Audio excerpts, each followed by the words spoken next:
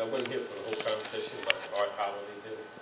Do we know who owned it and? Yeah, we have the file and we'd be happy to share it. So let me give you the history of that. Former Councilman Danny Savage had set aside five hundred thousand dollars at one point to purchase the building. Uh, the building was appraised, the appraisal came in at like three hundred thousand dollars, three twenty something. The, we can't legally, from the city's perspective, buy something for more than the appraised value. The owner turned it down.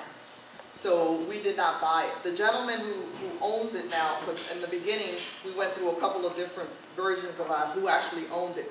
Initially, he wanted to do an adult club, and he came into the office and he met with us.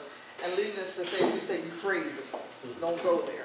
Um, this is a way he's kind of skirting, because you have a big building that has limited types of usages.